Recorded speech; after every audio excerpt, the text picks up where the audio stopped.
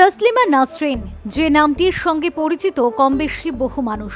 শুধু বাংলাদেশ বা ভারত, পাকিস্তান নয়, তাকে চেনে নানা দেশ। তবে সেই চেনা যে সবসময় ইতিবাচক হয় না, তারই প্রমাণ আরও একবার। তাকে দেওয়া হয়েছে প্রাণনাশের হুমকি।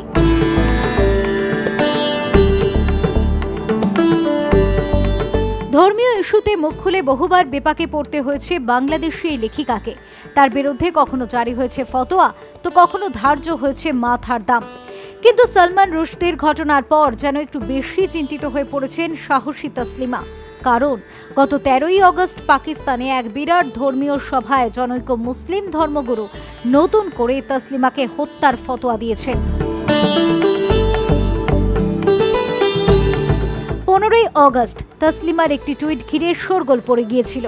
তোমরা মানুষ খুন করো। স্বাধীনতা দিবসে এমনই একটি টুইট করেছিলেন তসলিমা। সেখানে জনৈক জেন শেখের টুইট জুড়ে তিনি তুলে ধরেছিলেন তাকে হুমকি দেওয়ার বিষয়টি।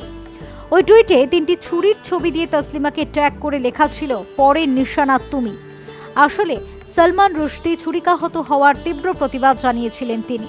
এমন আটো সাটু নিরাপত্তার বেড়াজল ভেদ করে রুশদের ওপরে সফলভাবে হামলা করার পরে মৌলবাদীরা উল্লসিত হয়ে নতুন উদ্যমে ঝাঁপাবে বলে মত প্রকাশ করেছিলেন তিনি। তারপরে পাকিস্তানে যেভাবে তার নাম করে খুনের হুমকি দেওয়া হয়েছে, তা নিয়ে রীতিমতো উদ্বেগে রয়েছেন তসলিমা। এত আশঙ্কিত এর আগে কখনো হননি লেখিকা তসলিমা নাসরিন। সাহিত্যিক সলমান রুশদি ছুরিকাহত হওয়ার পরে তীব্র প্রতিক্রিয়া জানিয়েছিলেন তসলিমা।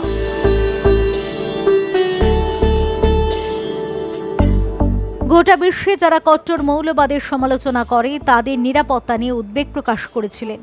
তোমরা মানুষ খুন করো, স্বাধীনতা দিবসের সন্ধ্যায় তসলিমার এই টুইটের পরে শোরগোল পড়ে যায়। সঙ্গে তিনি জুড়ে দেন জনৈক জেন শেখের টুইট। সেখানে তিনটি ছুরির ছবি দিয়ে তসলিমাকে ট্যাগ করে বলা হয়, পরের নিশানা তুমি। আর এইভাবে যে টুইটারে তার প্রাণনাশের হুমকির বন্যা বইবে, তা বোধহয় তসলিমা কল্পনাও করেননি। এর আগেও বারবার ফতোয়া পেয়েছেন লেখিকা। কিন্তু এবারে এই হুমকি দিয়েছে তেহরিক ইল্লাবাইক যা শুধুমাত্র একটা মৌলবাদী গোষ্ঠী নয়, এরা সরাসরি সন্ত্রাসবাদের সঙ্গে যুক্ত। আইএস এর ঘনিষ্ঠ যোগাযোগ রয়েছে এদের সাথে, এমনটাই শোনা যায়। বুকার জয়ী ব্রিটিশ ঔপন্যাসিক সলমান রুশদির ওপর হামলার ঘটনায় হতবাক গোটা বিশ্ব। বারবার আততায়ী ছুরির আঘাতে ক্ষত বিক্ষত হয়েছে তার দেহ। চিকিৎসকরা জানিয়েছিলেন, ক্ষতিগ্রস্ত হয়েছে রোজদের লিভার, একাধিক স্নায়ু ছিঁড়ে গিয়েছে, দৃষ্টিশক্তি হারানোর আশঙ্কা করা হয়েছে। প্রকাশ্য সমাবেশে তাকে যেভাবে কুপিয়ে খুনের চেষ্টা হয়েছে, তা দেখে ভাষা হারিয়েছেন সাহিত্যিক, কবি তথা বিশ্ববাসী। তসলিমা নাসরিনের বিষয়েও দুশ্চিন্তা প্রকাশ করেছেন বিশিষ্ট কবি এবং সাহিত্যিকরা।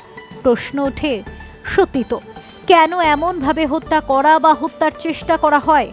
লেখক কবি সাহিত্যিক, এরা তো হত্যার উপযুক্ত মানুষ নন। এরা তো আর কাউকে মারেন না। ভাষাটাই এদের সম্বল। তারা তো কোনো রক্তপাত ঘটান না। শুধু নিজেদের কলমের সাহায্য নিয়ে সমাজ সংস্কারের চেষ্টা করেন মাত্র। তারই কি প্রতিদান দিতে হয় রক্তবিন্দু দিয়ে?